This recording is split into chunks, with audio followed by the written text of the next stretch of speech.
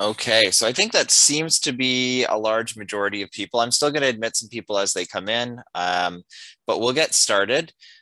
Uh, first, just a couple Zoom kind of protocols. I'm sure everyone's used to this now. Um, many of you, I, I think, have att- attended some of our webinars in the past, so kind of know the how we run things. Um, I'm going to ask everyone to stay muted for the entire uh, webinar, um, at least while Dave is speaking. And we will have a chance to ask questions at the end. So his presentation runs about 45 minutes, um, and we'll have 15 to 30 minutes of questions, depending on how many people have questions the easiest way to do questions is to just type in the chat. Um, you can find that kind of at the bottom of your screen, there should be a chat option. Um, if you'd like to test it out, you can quickly type in the chat where you're tuning in from um, and how much snow you got maybe um, in our last uh, lovely snowstorm.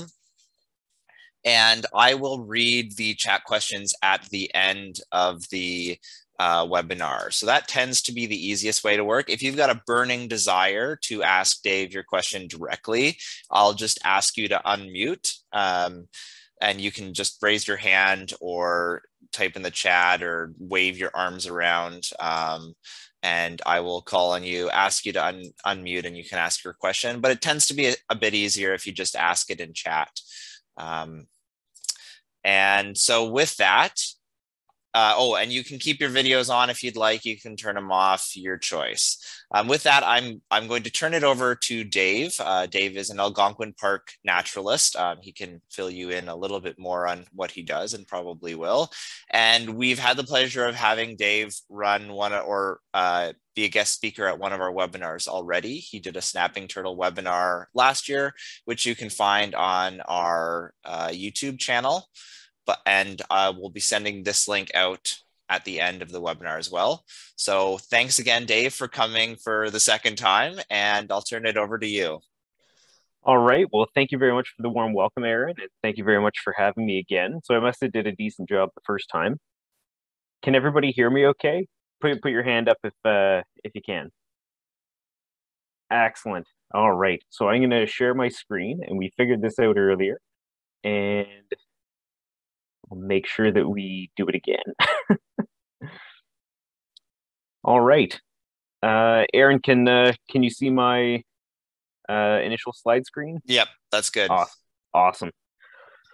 All right. Well, thanks again for having me. Today, my presentation is called A Winter Walk in the Woods. And really, the idea behind it was skipping winter. And I want to share uh, some of the really fascinating ways that wildlife uh, prepares and spends the prepares for the winter and how they spend it, um, it, which I thought was a really interesting topic for uh, for presentation. So hopefully you guys enjoy.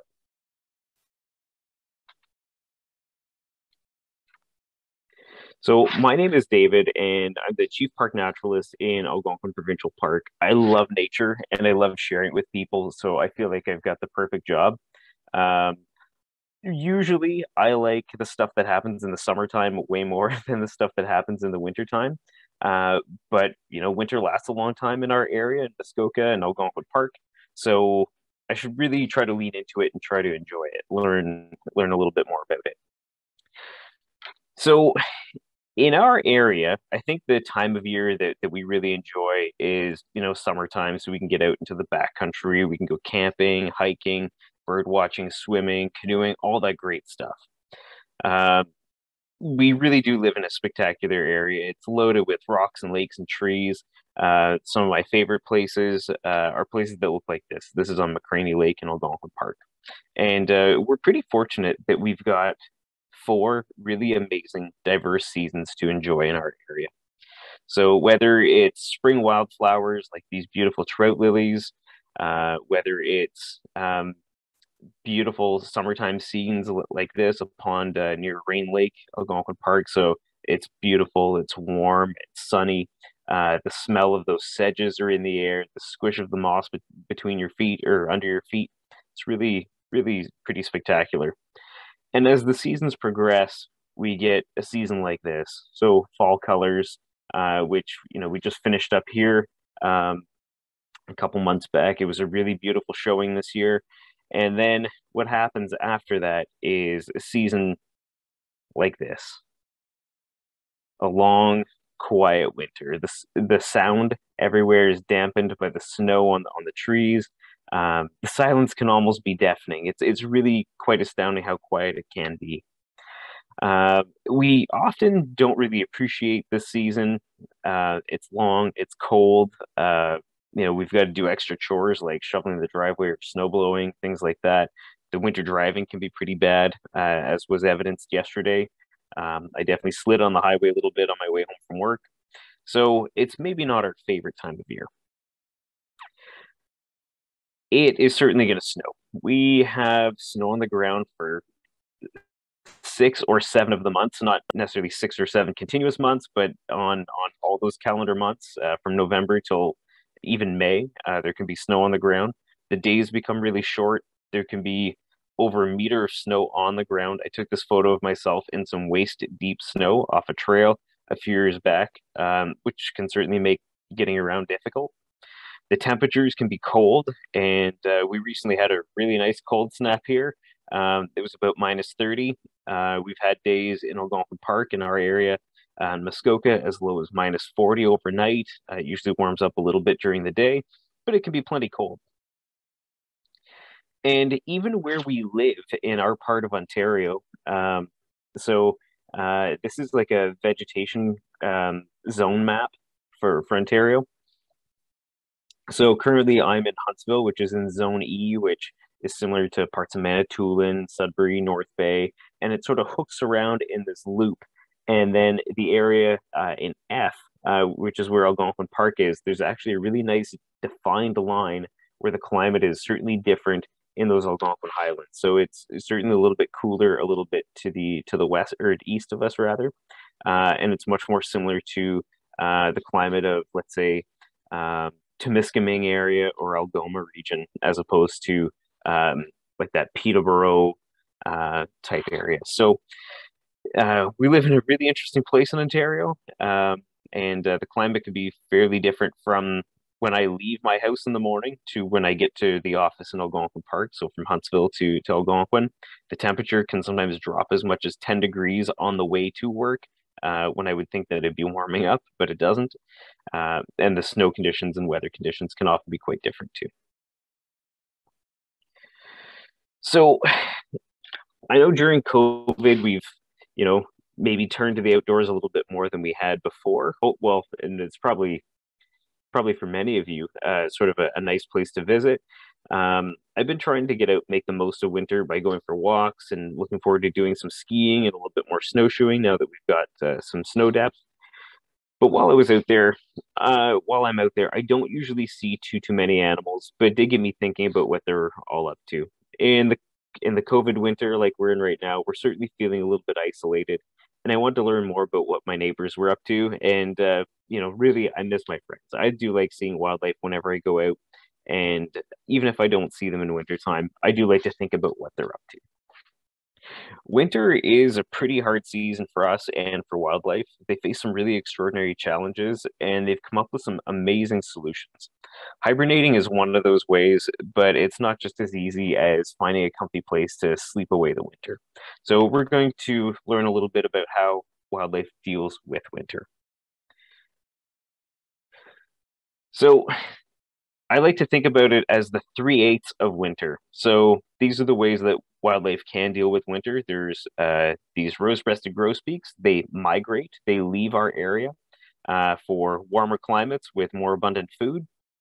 We've got uh, this spectacular mammalian predator, the marten, in the center, uh, and they tolerate winter. They're active year-round, and they've got a nice warm fur coat. They've got a high metabolism, uh, so they can be active year round. They certainly do need to eat a lot. And then we've got other creatures like this American toad, and we're going to find out some other animals um, that hibernate for the winter. So they're going to spend the winter in a state that is much different than their summertime state, and they're going to be doing some things that are much different than what they do in the summertime. So we're that's the the group of animals that we're going to focus on are the hibernators. But just to give you a last look at a real tolerator show you show you guys this creature. that I took a video of on the side of the highway a few years back. So it was about minus 25 that day. You can see that it's snowing and the wind is blowing pretty hard um, as the, the sort of vertical snow that we can see going. Snow is piling up in his antlers, and this hulking mammal, the moose, this bull moose, is having to eat a lot of food just to keep its metabolism high. Uh, so it needs to generate body heat and uh, and energy just to survive, and it's getting that all from eating twigs. So a twig is technically a pretty low quality food, so they have to eat a lot of it every day. So this animal will end up eating, you know, 40 pounds of twigs a day, which is a lot of twigs, and that's why their poop looks like sawdust um, at, at this time of year. It's because they have to eat so much of that just to survive. So instead of doing that, we're going to skip the winter by hibernating. But why skip the winter? Well, for many species, there's not really a lot of food. If you eat insects, like uh, like many of our songbirds do, um, there's not really very many insects around, which is one of the you know many reasons why people like winters. There's no biting flies, for example. Maybe their body isn't well adapted for uh, traveling in the snow. So you could be, um, the, let's say, a toad. Imagine a toad hopping through really fluffy snow. It's not going to work very well. Or what if you're a cold blooded animal that can't generate your own body heat? You might freeze solid and you might do so very quickly. Imagine uh, putting a, let's say, bottle of water out on your deck when it was minus 30. It will freeze very, very quickly. So, all these reasons um, are good reasons why animals might hibernate for the winter. And then how does how to hibernate for the winter time? It's not just a long sleep. There's a lot of preparation on the animal's part, whether they know it or not. And in many cases, it occupies a big part of what they do and how they live their lives throughout the year. For cold blooded animals, they typically have to find a safe place to hibernate and make sure that they don't freeze. Their metabolism slows right down, so they need very, very little energy. So if you can imagine um, when your uh, your thermostat for your home is set to let's say 25 degrees celsius you're using a lot of uh, fuel or, or gas or electricity just to heat your home. As you lower your home's thermostat you're using less and less energy. For cold-blooded animals let's say like snakes and frogs their their metabolism is dependent on the temperature that their body is at, and they do not produce their own temperature. So when it's warm out, their metabolism is high, and as it cools, their metabolism gets lower and lower. And for many of those animals, it's very important that they don't freeze or they could die. Uh, for mammals, in comparison, they need to put on a lot of fat ahead of hibernation to accumulate and store a lot of this energy and then they will turn their metabolic thermostat down so they'll lower their metabolism a bit as much as they can and then uh, suppress some aspects of their metabolism as well. So throughout my presentation i've got this little um, thermometer graphic. So the red uh, indicates like the summer body temperature of the animal the blue is a comparison to the winter body uh, the winter body temperature and the dashed line uh, going behind the thermometer is the uh, um, let's say the freezing mark.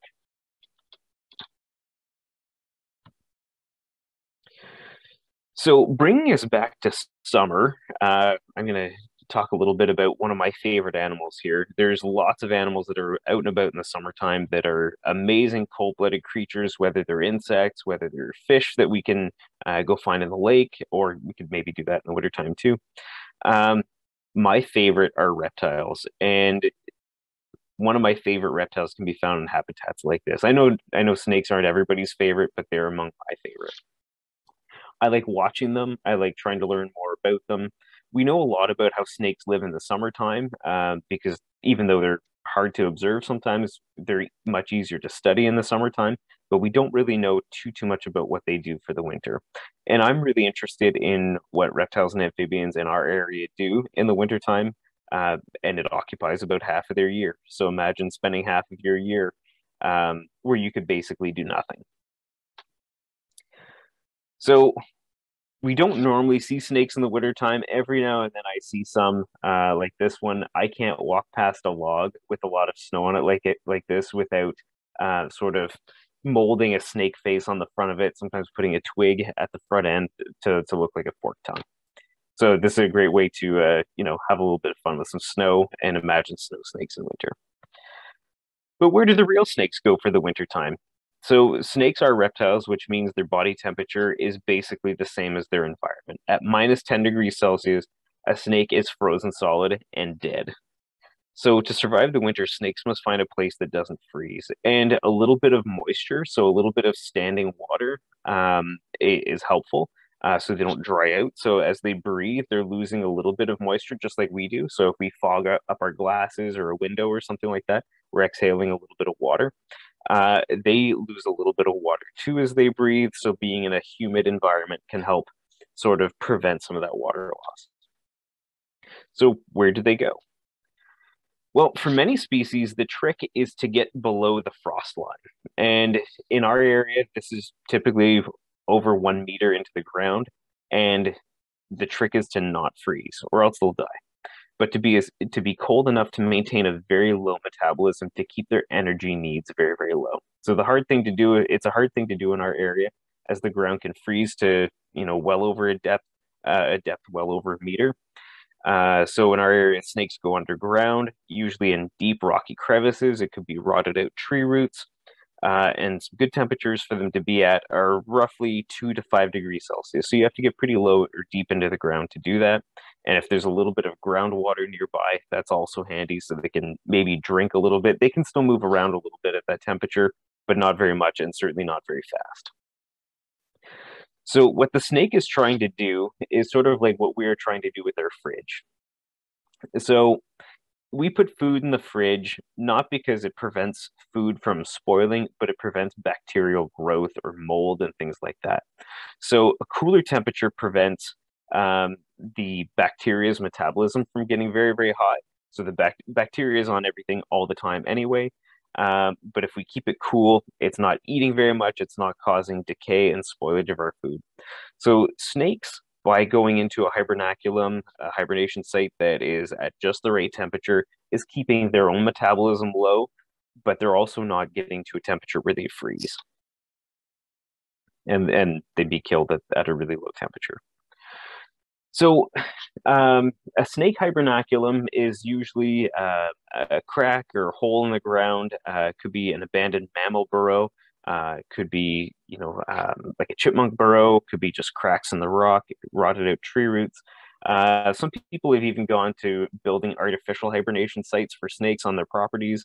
Uh, this would usually be something that could be, you know, over three meters deep uh, be filled with like rock and cobble and concrete slabs and chunks of wood and things like that, covered over with sand, things like that. So um, it uh, it's certainly an impressive place. Some snakes hibernate in big groups, others hibernate individually.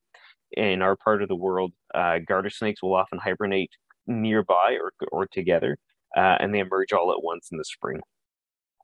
So, in comparison of body temperatures from the summer versus the winter, the garter snake is very, very low. So, during the summertime, their body temperature could be, let's say, 25 degrees Celsius, and in the wintertime, as low as maybe zero, two, three, four degrees. Very, very big contrast. Garter snakes are among the first snakes to become active in the spring. I always get excited to see uh, garter snakes first thing in the spring. I took this picture at Torrance Barrens a few years ago uh, where there was a garter snake that emerged while there was still a fair amount of snow on the ground. It wasn't a terribly warm day, but it was getting ready to speed its metabolism back up so it could start feeding again, hopefully finding a mate, um, and getting on with uh, with getting on with spring after what was a very long winter. So if you're like me, uh, maybe you like to spend a little bit of time camping, and if you're camping in the Algonquin Park area or Muskoka, there's a creature that is most assuredly on every single campsite, uh, and they're one of my favorites. They're a cute little creature, uh, and certainly pretty mischievous and very focused. The eastern chipmunk. uh, every time I see a chipmunk, I can't help but laughing. I, I can't help but laugh. Their uh, their antics are just great.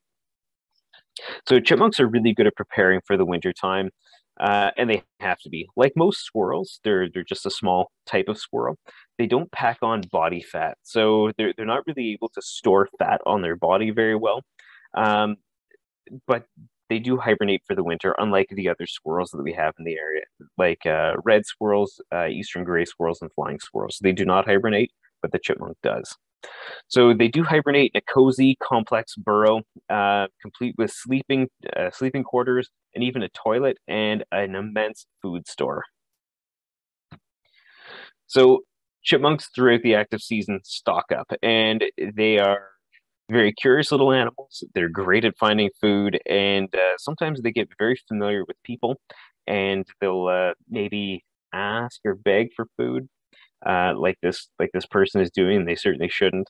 Um, a chipmunk collects many small hoards of food throughout the active season, and in late summer, it combines this all into one huge hoard.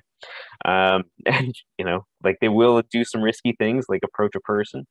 Uh, they certainly gather up seeds, nuts, berries, mostly items that won't degrade uh, too much in the chipmunk's hoard. So putting something in like a like a piece of bread, uh, it might rot, get moldy, or degrade. Whereas like seeds and nuts and things like that, they'll stay good for a long period of time in the chipmunk's underground cache of food. So early on in the pandemic, uh, I think many of us uh, probably remember stocking up on food for what was uncertain times. Uh, and uh, not pictured here is all the toilet paper that everybody uh, also scrambled to get. Uh, but we do this too. So the the chipmunk, it knows that winter is coming every year, and it needs to go out and collect a lot of food. and you know, I do this every year, whether it's um, canning food from the garden or storing food or making food in advance and then storing it in the freezer. Uh, storing food is, is pretty important. So our chipmunks, they hibernate in their their burrow, their complex burrow. Their body temperature drops to save energy, but because they don't have a lot of fat on their body, they periodically need to wake up and they go and they go to their food stores and they snack to replenish their energy. Uh, and they'll do this maybe uh, once a week, something like that. So they, they're not completely dormant, but their body temperature has dropped, their heart rate uh, drops for a prolonged period of time to save energy. Uh, but because they don't layer up that fat, they do have to wake up sometime to go and eat. And uh, they certainly do that. Um, and fortunately, you know, an average chipmunk will store almost three years worth of, or three winters worth of food in one season. Um, you know, most chipmunks don't live more than two seasons, so they usually store, uh, you know, more food than they need, which is, you know, which is good planning. So a sure sign of spring is eventually on one of those warm wake up days where the chipmunk has gotten up to, to eat something. Uh, it does leave its burrow and uh, it goes and peeks its head outside to see what the world uh, looks like this spring. Uh, keep an eye keep an eye out for them underneath your bird feeder. That's usually one of the first places I see one. Is they wake up and they they want something fresh because you know we all know that we've sat there and looked at a fridge full of food and said, oh, there's nothing to eat. Um, and the chipmunk, I'm sure, does that too and says, nah, maybe I'll go for some fresh seeds. I'm sure getting out for a stroll is nice after that long in the burrow. Now, another rodent uh, that lives in our area, and this isn't a very common one, uh, and it's one of my favorites too, which is too bad. Um, it has all sorts of great names like groundhog, marmot, whistle pig. Uh, it's not really a common animal in our area, so I'm pretty happy to see one whenever I do get to see one, especially uh, if it's in the springtime, as long as it's not in my garden. So the way the groundhog or woodchuck um, spends the wintertime is uh, you know, similar to the chipmunk, but a little bit different. It gets comfortable. It, uh, you know, will build quite the nest or like the the cozy sleeping area in its burrow. But unlike the chipmunk, it is able to put on a lot of fat. And it also produces an elaborate burrow with nest chambers, a toilet, but no hoard. It didn't store any food. Groundhogs eat mostly fresh vegetation that doesn't really store well. So imagine um, going to the grocery store and getting you know lots of head lettuce and something like that and then you know trying to store it away in your bed it's it's going to get pretty gross pretty quick so the groundhog puts on a lot of fat the groundhog is a famous prognosticator of the weather with dubious accuracy. It is among the more famous hibernators, and you know, a very famous, uh, uh, very famous at waking up and looking for its shadow. Uh, they do go dormant for long periods. Their heart rates and body temperatures drop from nearly 100 beats per minute to five beats per minute. So this is like a really drastic change in body physiology. Uh, their body temperatures are normally around 37 degrees Celsius and they drop to as low as seven, but they can't do this all the time. So they periodically have to wake back up again.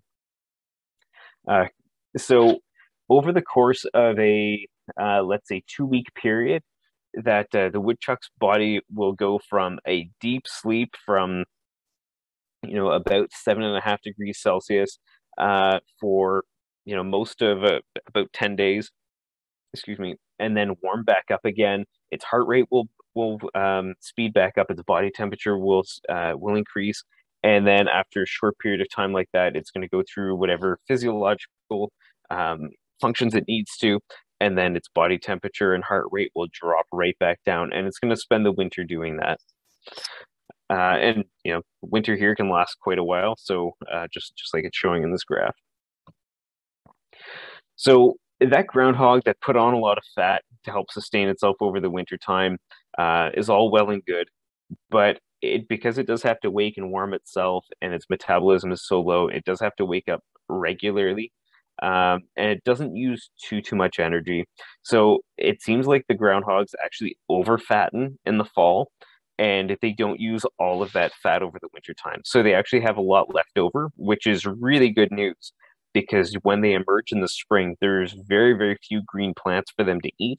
Uh, and their body weight keeps going down and down and down, even though it's really nice outside. So that, that groundhog that I showed uh, that emerged uh, first thing in the spring, um, it was just dead grass everywhere, which is a really low quality food. Uh, so its body condition is still, uh, it keeps declining until there's fresh new green vegetation for it to feed on.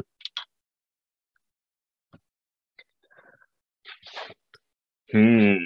So this is a nice misty morning in early fall in Algonquin Park. Um, and the water temperature is warmer than the air temperature on that particular day, and that's where we get this mist. Eventually, these waters are going to chill right down, and it's it's going to freeze over. I know many of you were on uh, the presentation they did about snapping turtles a while back, so this might be a little bit familiar to you.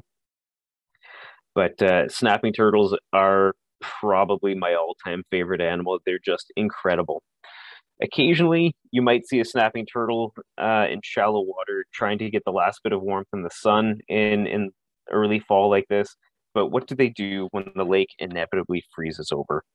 And it's a long winter. So they spend their winter under the ice in the water and they have to hold their breath. So you and I would not last very long in the icy water, uh, let alone uh, underneath the ice where we can't get to the surface to breathe. But these air breathing reptiles, they spend about six months trapped under the ice.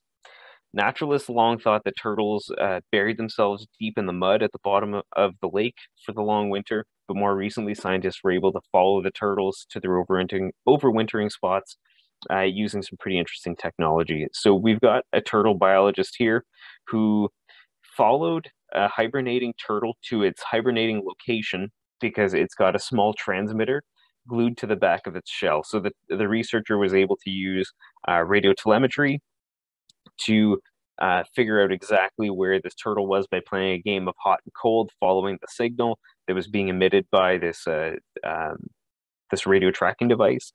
And he got right to about that location, and then he cut a small hole in the ice using an ice auger and then he's going to lower this camera down to actually see what the turtle is doing. And this, you know, the results sort of surprised people. So I know this image is a little bit grainy and kind of hard to see, but in the middle, we've got that sort of football shaped object right in the middle. That's actually a turtle shell. And then there's like the long with antenna coming off of the back of the turtle shell. So that's the, the turtle that they were doing the telemetry on and it's just sitting right on the bottom of, of the creek.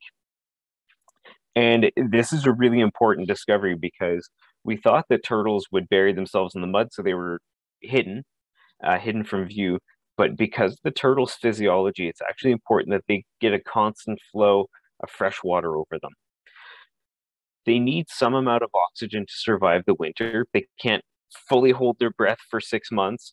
Um, they manage to get a little bit of oxygen from the water. So they're not breathing it in through their nose or mouth like we might, uh, but they're actually taking a little bit in through what's called their cloaca, which is, you know, a fancy word for the turtle's bum. So they're taking in small amounts of water into their cloaca, which I imagine is very cold, the same temperature as the turtle, and they're exchanging small amounts of gas. So a little bit of carbon dioxide that we would normally breathe out, but it's also found in their blood. So they're exchanging a little bit of that carbon dioxide for a little bit of oxygen that, that's in that water.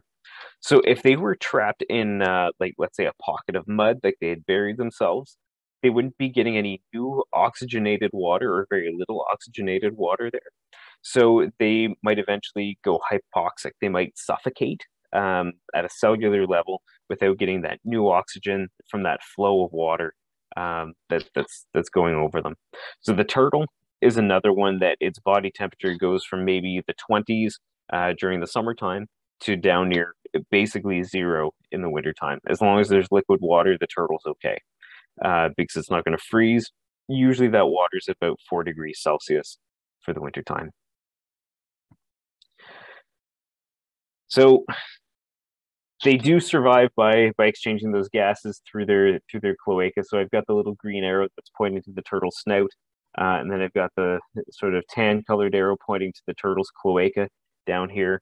Um, I can imagine that as the turtles emerge from hibernation, they're very excited to take those first breaths with their actual face and you know breathe with their lungs and all that stuff.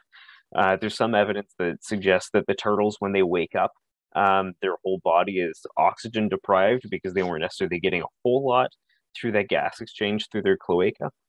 Uh, so that they might be experiencing a full body cramp and maybe their their movements are fairly difficult. I often come upon turtles like this uh, that have emerged from from the wetland to bask up on a, a, bog mat, for example, to increase their metabolism so they can breathe faster, uh, so they can maybe breathe off some of these uh, uh the lactic acid, for example, that's built up in their body.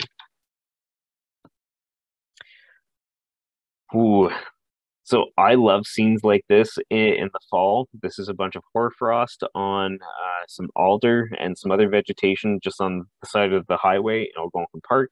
So we've got a little bit of fall color here, the yellows and oranges, uh, and everything is covered in the final fall color, white. So as it starts to freeze, any uh, water vapor or water droplets that might be on the landscape, they also freeze. They turn to small ice crystals. A tiny droplet of water will expand as it freezes, which is unusual in nature. Most matter usually contracts as it freezes, but water is different. And if it happens to be in a container, it might explode. Everyone has probably done this at least once with maybe a bottle of water, can of pop, or hopefully not a, a bottle of beer, but it happens. Imagine each cell in a body like like this beer bottle. It's a little container and it's filled with all the equipment that the cell needs to operate the body. Uh, so when all together, all of our cells make up our body. As water turns to ice, it will expand past the volume of the container. Remember that container is full and those sharp ice crystals will puncture cell walls. Uh, so if you uh, periodically eat meat and you've got uh, meat that you've frozen and then you've thawed it out, there might be like a pinkish fluid that comes out of it. Uh, that cell fluid leaking out of that that frozen meat. So the water has uh, exceeded the capacity of the cell and it's punctured it, and then it's leaking out of that. So most animals can't survive being frozen but this one can. So wood frogs hibernate on the forest floor, and it's not too too fussy about where it does hibernate. Unlike the snake and the turtle, uh, it doesn't choose a place that doesn't freeze. The wood frog can actually freeze almost solid and come back to life. It's got pretty amazing adaptations to be able to do this, uh, which allow it to survive further north than any other frog in North America and beyond the Arctic Circle, which is really really amazing in our area they're they may have about six months of activity but in the really far north they might only be active for three months a year really really spectacular so to hibernate on the forest the forest floor the wood frog has a two stage process so first its organs secrete chemicals that allow the body to not freeze until colder than freezing. So th- this is called supercooling. So its body will actually uh, secrete some chemicals that will allow it to um, go well below freezing temperatures, but not having frozen yet. Then the water will leave some organs, and glucose, a type of sugar, is secreted by the liver, which interrupts the bonds in water from preventing ice or from in water preventing ice crystals from forming until well below that freezing temperature is met. The cells that do freeze do so in a really specific way. So basically, from the least to most vital organs. So they're freezing from the uh, sort of outside inward by reducing the amount of water in the cells and interrupting ice formation, the cells don't explode and typically no damage occurs to the frogs. Wood, wood frogs survive well at minus two to minus five under the snow and leaf litter. There's no brain activity at this point uh, in the frozen state, and there's no heartbeat. And it, so it's truly incredible. It's basically in a state of suspended animation or living death. Uh, when suitable temperatures are felt, uh, the frog will begin to thaw, and this takes a day or two, but can be as few as a few, as little as a few hours. It's really thaw and go. So you might have a frozen frog first thing in the morning, and by the afternoon, it's hopping away. It's really incredible. So you're asking yourselves right now. So minus two to minus five, that's all well and good, but yesterday it was, or on Sunday it was like minus thirty. So where do they find that sort of temperature? So remember, the wood frog hibernates on the forest floor, so it might hibernate under dead leaves, under a log, or something like that, but not below the frost line. Uh, so when there is a lot of snow on the ground, it actually insulates really well. So uh, up at the surface, it might be minus 30 or minus 40, but down actually at the, the ground level, it's considerably warmer than that. So it might be um, only maybe minus five and a couple centimeters below like the leaf litter might be a little bit warmer still. It'll still be frozen, uh, but it won't be nearly as cold. So frogs are usually in good condition when they wake up, which is good news for them. Uh, instead of looking for, for food, wood frogs often travel, eh, in, in many cases, over the snow to get to breeding ponds in, in the woods. Can people hear that? no, maybe not. Ah, so we've got our forest filled with snow. It's a beautiful time of year to be out there. Um, you might be looking for wildlife and not seeing too too too many species. You might see their tracks. You might see their signs. A creature that I often wonder about when I'm deep out in the forest is how close am I to one without really knowing it? And uh, I call them the big sleeper this is uh this is sometimes all that you see of this big sleeper in the wintertime is just a little little hole in the snow. There might be frost around the edge of the uh, this hole and maybe there's a bit of a dark stain and that's that's from their breath. As they're this this warm-blooded animal is exhaling um, uh, it's it's breath. There's a little bit of water in that breath and it's condensing and freezing around the edge of that uh, that opening. Um, and that's uh, you know a big animal that's concealed itself uh, maybe under a fallen tree in a rocky crevice, sometimes a hollow log, uh, sometimes not too too much of a shelter. Uh, I will recommend that nobody try this at home. This is a former park biologist uh, that's looking in this in this crevice, uh, and what they're looking for is the black bear. So bears hibernate in a den, usually in the ground. It could be a hollow log or rocky crevice, but sometimes it's just on the ground covered with snow. This is usually an adult male bear that um, you know doesn't think too much of homemaking. They don't eat or drink during this time. They don't avoid any waste for up to six months. Their heart rate slows from 50 beats per minute down to 10 beats per minute, uh, and their body temperature remains fairly high. Despite their heartbeat dropping quite a bit, their body temperature stays pretty warm. It doesn't fluctuate too too much unless they have to get up in a hurry, and there's a couple of reasons why they might. Uh, although the bear's metabolism has decreased, its body temperature has only dropped a few degrees. So the energy savings, it helps, but it doesn't help too, too much. And interestingly, for a really big animal that's comparable size to us, that's not moving very much, if we did that, our mu- muscles would atrophy and shrink at that time. But despite staying still in the den for a really long time, their muscles don't atrophy at all. So to be able to do this, bears put on a lot of fat, and they need to do this, uh, or and to do this, they eat a lot of food. They end up eating nonstop in the fall if they can. That's the ideal situation for them, and they're going to be looking to eat about twenty thousand calories a day, which is apparently over thirty-five Big Macs a day. Uh, and that's that's just for the fall season. That's about ten times more calories than they would normally eat on an average summer day. Uh, now, hopefully, they're not eating Big Macs directly because that means people are doing a bad job about storing their food. But they will go after things like beech nuts. So they'll climb up beech trees in the fall to eat the nuts up at the top. Um, this image here is depicting a, a beech tree where uh, the bears have broken off distant branches and brought them back to the center to sit there and munch on the on the leaf or on the uh, the nuts. Uh, and we can see all the leaves remaining on the trees. So it went up there and did that uh, maybe a few weeks before this picture was taken. Uh, while there were still leaves on the trees, it brought them back. All the, the living branches lost their leaves, but the ones that were dead because the bear broke them off still have the leaves on. At the bottom right, I've got a picture of those little tiny beech nuts with their little uh, prickly cap on them. Uh, so you can imagine it would take a lot of these to fill up a bear and a lot of them to add up to 20,000 calories. So to survive the winter, bears put on a significant layer of fat, many inches thick. So I've got uh, a stack of slices of bread here just to show uh, how thick maybe a successful bear uh, would put on a fat. So a really thick layer of fat, many, many inches thick. Um, and this thick fat helps insulate the bear a little bit, but really what it's doing is it's supplying itself with uh, like a meal replacement. Uh, it's going to be a source of energy. So it's not going to eat anything, but it's going to burn this fat or metabolically use this fat uh, while it's in hibernation. It needs a huge amount of energy. And remember, this is a marathon, it could last five months.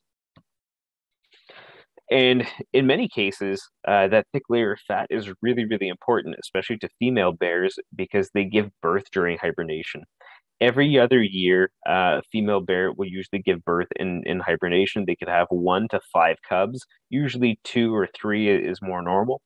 And you know, to think that the the mother bear is like fully unconscious during this time wouldn't be accurate. She's awake and you know she's she's snoozing a lot, but she's caring for her bear cut or for her cubs. They're born. She cleans them. Uh, she's nursing them uh, on her very, very rich milk. And that baby bear is born at about the size of a chipmunk, so pretty small. By the time they emerge from the den uh, a few months later, they're already about, let's say, this big. So maybe closer to the size of a, a really big groundhog by the time they emerge. They grow very quickly. So for the bear, the bear in this den, it's not just asleep or torpid like the groundhog. It's still pretty with it and can arouse fully in just a few minutes. So if you happen to see one of these things, and, and I don't recommend doing this, but if you you know peered in and maybe started shouting at the bear, you know, or something like that, it might wake up and run away.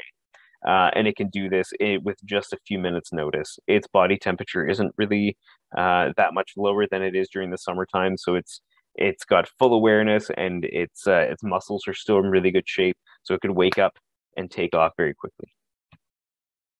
And when bears emerge in the spring, they're quite thin and very, very hungry. Uh, in many cases, they lose up to 40% of their body weight over the wintertime. So they might have put on about, you know, 40% of, uh, or add up to about 40% body fat.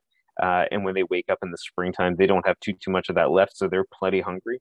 There's not always a lot of food for them first thing in the spring, uh, so they end up eating a lot of grass. So they wake up, they're very very hungry, and they find about the nutritionally poorest food that's available is grass, and that's almost all that's available. So they eat lots of that. They eat tree buds, they eat ants. So if you imagine you know being a very very hungry bear flipping rocks and eating the ants that are underneath uh, you have to eat a lot of ants to get full. So those bears that do wake up and this mother bear here has cubs um, so the mother bear especially will continue to lose weight. Um, the, the cubs are putting on weight because they're nursing from mom. She's not necessarily getting a lot of food Uh, so she definitely needs to make sure to find lots of food. So it's definitely time time of year to put away bird feeders or pet food or anything like that to prevent attracting bears to your property. Uh, there's natural food out there for the bears; they'll find it, but uh, we don't really want to give them a free meal, and we don't want to train them to come close to our houses. So, to finish up here, it's tempting to think it might be nice to snooze away the winter like some of these animals, but it certainly isn't as easy as it might seem or as they might make it look. Entering hibernation as a response to environmental conditions like like the cold, the day length, uh, lack of food, preparation for it can take up most of the animal's active year, especially in the case of the bear.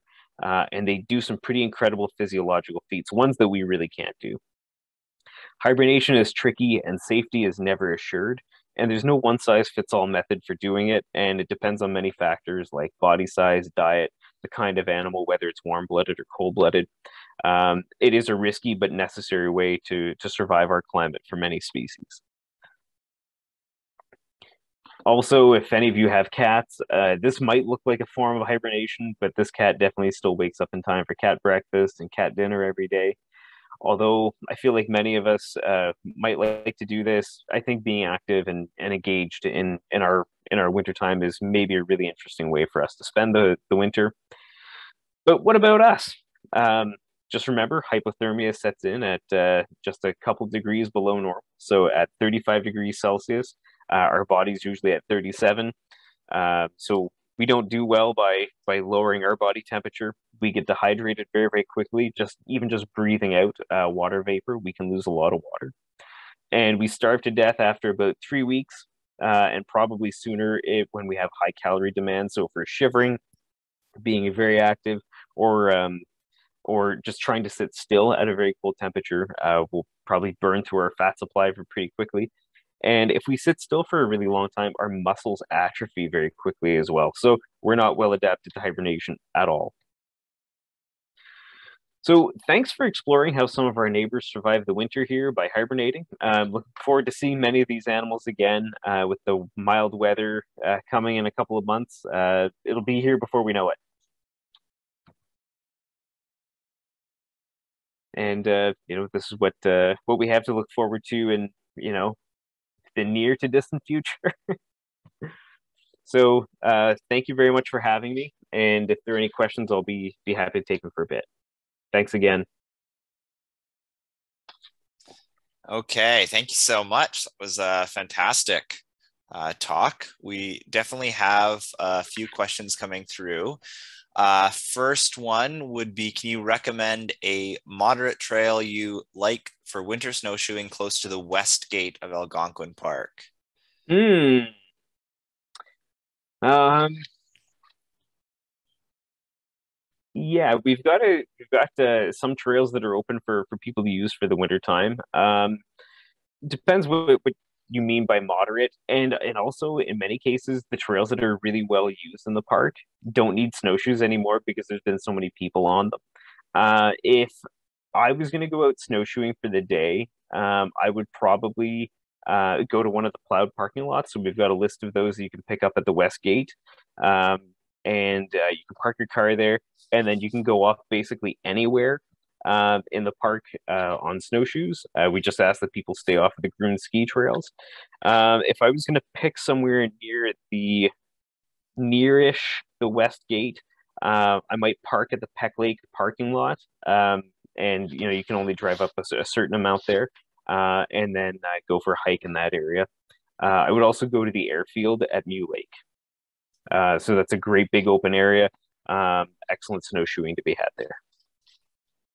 Uh, okay, I've got another question. Why were the antlers still on the bull, moose in winter?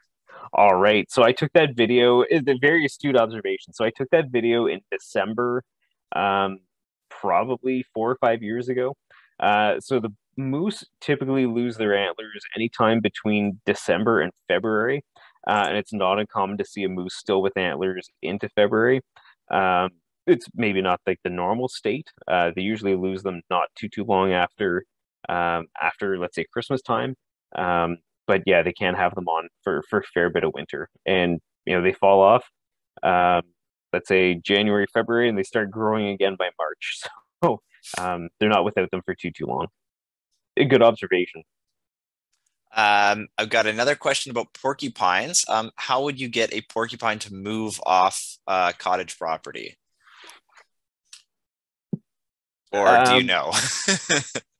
that, that's a that's a really great question. Um, if it's trying to get into your buildings, um, you know that that's one thing you might want to talk to a pest control professional. If it's just on the property and it's chewing up your trees, um, yeah, that I I don't really have any recommendation for for trying to shoo it off. Um, you know, if it happens to like the trees in your property, it's probably there to eat them, and uh, which you might not be that keen on. So, um, no real suggestion on getting them to to move along. Um, encourage a fisher to hang around. uh, yes, that might help. Um, and we have found a couple. I found porcupines are kind of easy-ish to find in the winter because you'll see the kind of tracks that they make looks like one big or a small animal snowplow has just yep. moved up to a tree. Um, got a question regarding beech trees. Um, how does the decline of beech trees due to beech bark disease uh, affect bears' ability to put on enough weight for winter hi- hibernation? So that's a really great question. So beech trees in our area are really declining, at least in health and probably in number in, into the near future uh, due to beech bark disease. There are other trees that do produce hard mast in our area as well. So beech trees are still producing reasonable crops um, periodically. So they don't do it every year and they never did. Um, but there are other trees that do produce uh, reasonable mast crops like uh, like red oak and white oak a little bit further further south of Huntsville. Um, it seems like bears are adapting to that uh, because they don't eat just one food source; they eat a variety of food sources. So they're still finding that. Uh, but that certainly is a concern for uh, for wildlife biologists. Like, what are the bears going to do if uh, one of these reliable food sources isn't as available anymore?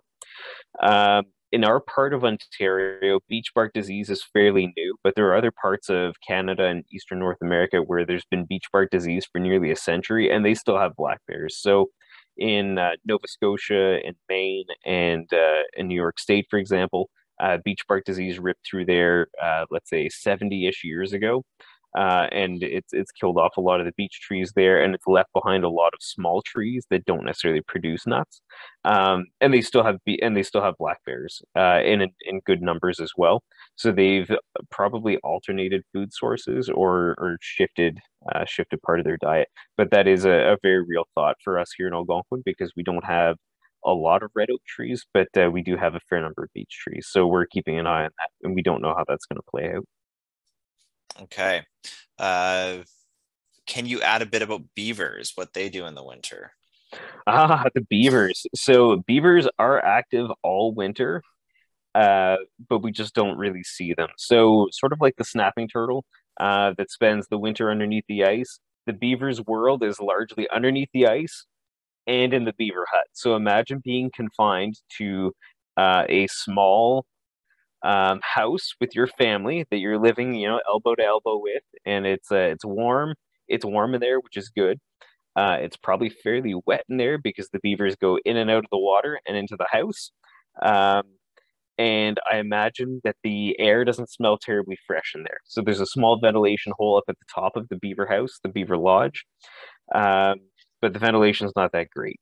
The beavers will spend most of their time in the house and they will swim out of the bottom of the house. So they go from the air pocket into the water and they swim out to a food cache that's underneath the water uh, that they've uh, gathered over the fall. So they cut lots of vegetation, they pile it up um, in the water. They put the uh, worst stuff on top and the good stuff underneath. So as the ice freezes, they can get at the good stuff underneath. Um, and they go there and they chew a piece off uh, while they're underwater so they can seal off their cheeks so they can just use their incisors um, while they're underwater without taking on water. They chew that off, they bring it back into the house, they eat it, and then they bring the sticks back out and discard them underwater because there's only so much space in there. Uh, so that's generally how, how beavers spend the winter. Uh, if you see a beaver out on land in the wintertime while there's still a lot of snow on the ground, you know something's not right with the with that particular beaver colony. That maybe they've run out of food, uh, or that they're running really short on food, and they're going out on land to try to look for additional uh, vegetation to cut to bring back. Uh, and this makes them particularly vulnerable to predators like wolves. Okay, thanks. That's uh, nice, nice quick dive into beavers. and would he uh, actually? I do this one first. Are otters similar to beavers in the way that they uh, handle the winter? Um, well, they both spend their time uh, in the water in the wintertime. So otters uh, do not hibernate; they're active uh, year round.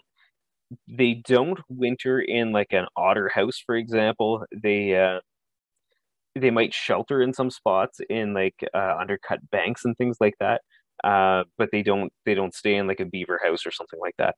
So otters uh, are kind of nomadic in the wintertime and really what's limiting them is access to open water. And they can hold their breath for a really really long time. They can swim around underneath the ice but they always have to go back to a spot with air to breathe. Um, so they might be able to hold their breath for a couple minutes, look for fish or other prey. So it could be tadpoles, fish, freshwater mussels, occasionally even snapping turtles. Um, but they've got to come back up to an air hole to breathe. There's recently been some thought that they are able to find pockets of air that accumulate underneath the ice. So you can imagine like a couple of air bubbles um, forming or staying in uh, sort of a, a high spot in the ice and they can maybe find these using their whiskers, feeling around at the surface of, of the ice, and they can find that and like inhale the air and then keep swimming. It sounds like a pretty risky strategy to me, but the otters, I think, know what they're doing. So, um, yeah, very, very interesting animals. Sometimes they'll move a fair distance overland in the wintertime, uh, where they might have um, exploited all of the available food or the available feeding areas in one water body where there's open water and they might have to leave, or maybe that water body is freezing up very, very quickly, so they'll go and try to find another one. There's lots of reports of otters moving many kilometers overland to get to a new body of water in the wintertime. Okay. Um, and the last question uh, Would you, uh, someone who's very interested in learning about larger mammals um, and some of the tracks that they make and would you consider doing a presentation on identifying animal tracks in winter snow uh, aaron are you asking this is another person asking uh, so and potentially i can mention that i've done some mammal tracking as well um, so that may be something we can uh, offer um, and i can maybe talk to dave afterwards and see what your experience uh, I, with that is. I have done a few winter tracking presentations as well. Um, they're not like a hyper detailed presentation about like, oh, you need to, you know, look at these like micro details, but trying to organize um, tracks into main categories uh, and figuring out approximately what you're looking at, and then you know building skill after that to distinguish between you know a marten and a fisher and a mink and an otter and all that stuff. Uh, but looking at patterns of tracks and getting it down to like a you know fairly narrow group uh, based on the way the tracks were laid down. Yeah, so I have done some, uh, and I'm interested in doing others. Um, and I can also add that we tend to do, depending on the COVID situation, we do a nature quest in the winter regarding mammal tracking. Um, so I'll I'll take a group out and and we found about I don't know 14 species of mammals on one of our properties on one of the outings. So nice that would be yeah. way more fun than a PowerPoint presentation over Zoom. Yeah. it can get a little dry, I've found mammal tracking. um, okay, well, I think that's all the questions. So thank you so much for uh, joining us again and offering your expertise. Uh, I know I really enjoyed it. Um, and I think everyone else seemed to do that as well. So thanks for uh, thanks for giving us your time, David. Great. Well, thank you very much for having me again, and uh, I'll wish everybody a great winter. Yes. Have a great time, everyone. Great. Thank you. Take care. Stay warm.